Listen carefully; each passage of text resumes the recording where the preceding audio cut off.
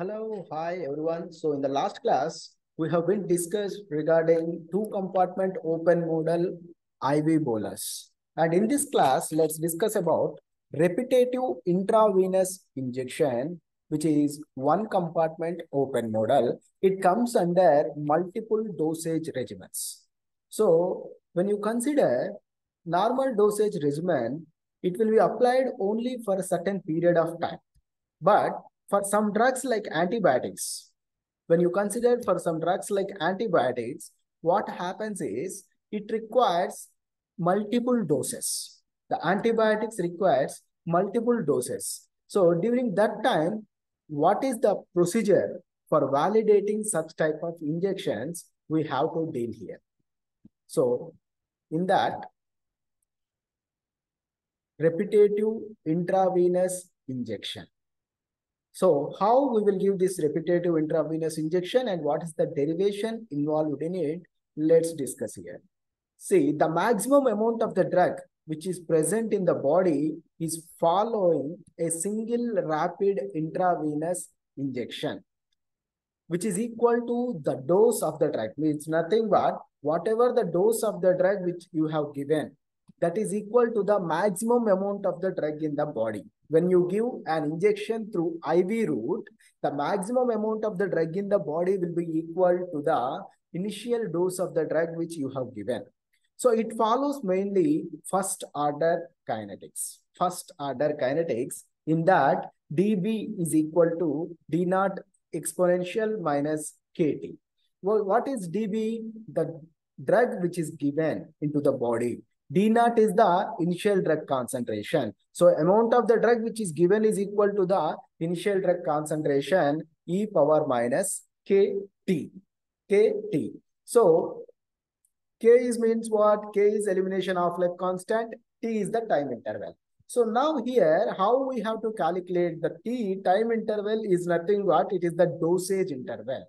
The time between the first dose and the next dose is called as the dosage interval, which is denoted by a symbol called as lambda, which is denoted by a symbol called as lambda. So time is equal to lambda. So in this equation, dB is equal to d naught. It becomes, this equation becomes like this. See, dB is equal to d naught E minus K into lambda. So in the first equation, what is that? dB is equal to d naught into E power minus K T. T is the time interval. Here, time interval is nothing but the dosage interval, the gap between the first dose and the next dose. That is called as lambda. So that is why the T is replaced by lambda. That is the second equation. And in the third equation, we have to calculate the fraction of the dose which is remaining in the body. The fraction of the dose which is remaining in the body, we have to calculate along with elimination constant. For that, the formula F is the fraction of dose is equal to dB by d naught. That is a drug given to the body by initial drug concentration is equal to e power minus k lambda. So with any given dose, the F fraction of the dose depends on K and lambda. That is fraction of dose depends on elimination half-life and dosage interval. If lambda is large, then automatically the fraction of dose will be smaller because dB, the amount of the drug which is remaining in the body is smaller. That is the reason. You should consider is whenever F will be smaller, F, whenever the lambda is large, automatically the fraction of dose will be smaller. Why? Why? Because dB is smaller. The drug remaining in the body is smaller. See, for this, the concentration of the drug, if you consider an example, the concentration of the drug always declines in the body one off after three hours means the concentration after giving the drug to the body, the concentration of the drug will uh, decline to one off after every three hours, one off. Then after six hours, what it happens? After six hours, it will be declined to one quarter, that is 0.25 after six hours. So here we are giving multiple doses after every six hours. First dose will be given in the first, next dose will be given after 6 hours. That means what? 0 0.25 will be T of after six hours. So that is why here you can see here clearly, we can uh, we can find out the value of the K from the TF. TF is equal to what? First TF is three hours. The drug declines in the body after every three hours. So that is TF is that is TF will become 3. That is what is the formula of K? K is 0 0.693 by TF. That is what 0.693 by TF means what? Here 3. So 0.693 by 3. Then it becomes 0 0.231 hour inverse.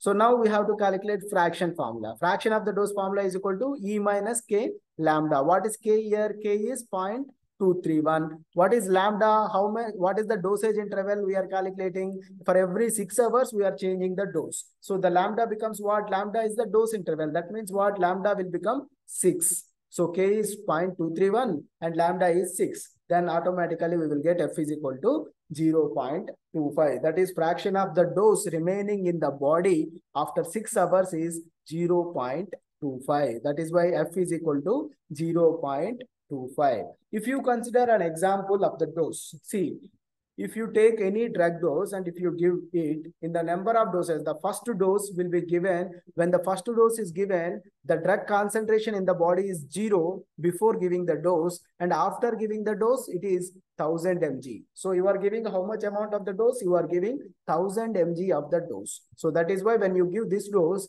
first before the dose, there will be zero. Nothing will be there in the body. But after giving it, how much amount will be there? 1000 mg will be there. And next, second dose. In the second dose, what happens? Fraction of the dose remaining in the body, how much? 0 0.25. 0 0.25 means what?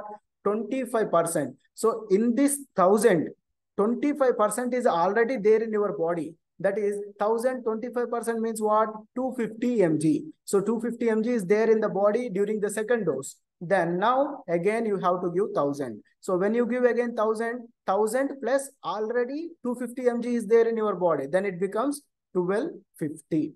So that is second dose. Next third dose. In the next third dose, what happens? Again, F is equal to 0 0.25 means in this 1250, 25% of the drug is already there in your body. That means what?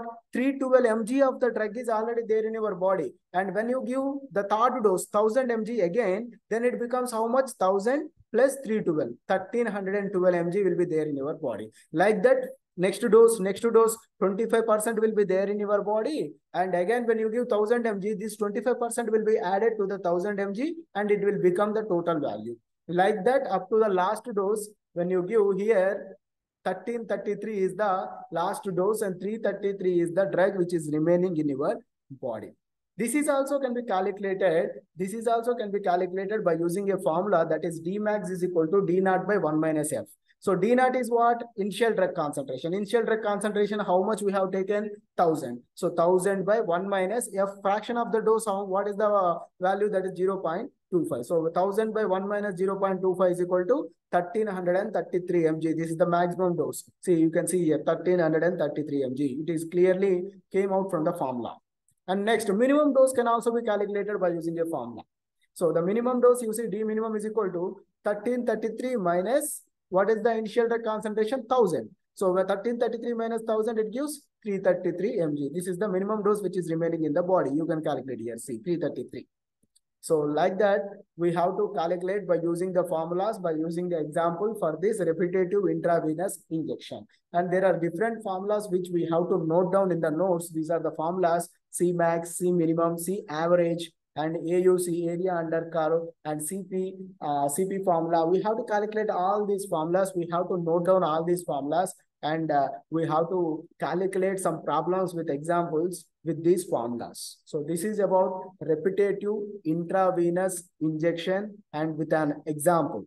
Finding out the repetitive intravenous injection with an example. It is clearly given. Again, using simple it is nothing but when you give repetitive intravenous injections, means one dose after another dose, one dose after another dose, automatically the maximum amount of the drug which is there in the body will be equal to the dose of the drug which is given. So the drug in the body is equal to the initial dose of the drug that is D naught into e power minus kt. So T is what? T is nothing but time interval. So time interval here we are giving multiple doses means what?